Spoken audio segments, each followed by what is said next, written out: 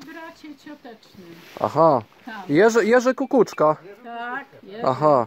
No bo on pochodził właśnie z Ale i Katowic. Tak zginął właśnie, kurczę. No. Wczoraj zrobili osiedle, No. I to jest, e, to jest wasza bliska, to jest wasza bliska rodzina? To jest od, po bracie ciotecznym. A, po bracie ciotecznym. mój dziadek to był brat. No, Aha. jego dziadek i... No idzie pan jaki ten świat mały. Ja też się interesuję. No bo on przecież w Katowicach chodził Tak. po kominach, czyścił, żeby zarobić pieniądze. Tak, tak, bo tak, po tych, po tych dużych, Po no. dużych, bo, bo Tak. oczywiście komuna nie dała. On Tak. Tylko, że jak potem przyszły chwały, to wtedy oni tak, pierwsi Tak, tak, przecież tak. stoją. Ale ja czytałem nawet, że oni się tam asekurowali na tych kominach po Tatrzańsku.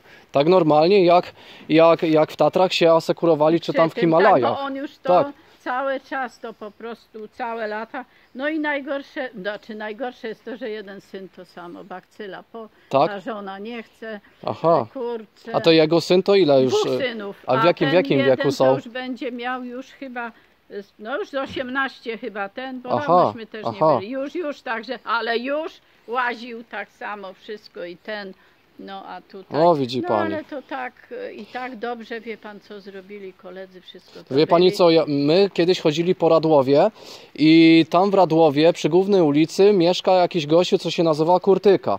I ja się pytam, czy to jest właśnie jakiś, jakiś ten, e, ten, co z Jerzym Kukuczką chodził, ten Kurtyka? Nie wiem, to E, nie. Te, ten, ten wspinacz polski, a on mówi, że no to jest taka dalsza rodzina właśnie. No to jest taki klan jakiś się Tak, tworzy. tak, tak, Przy tak. tym także tego, że kasę zbiera? Tam, tam, kolega tam, czy no to obojętnie. A to kolega, kolega już.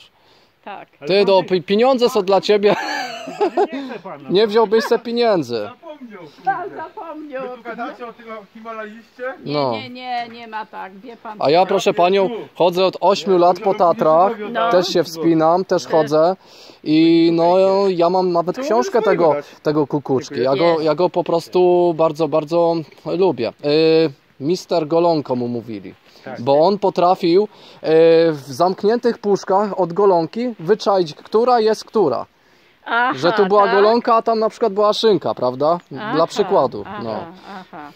Nie, po prostu to był bardzo skromny człowiek. Tak, tak. I, i, i także, no to fajnie. No. Dobra, to dziękujemy bardzo. No, my też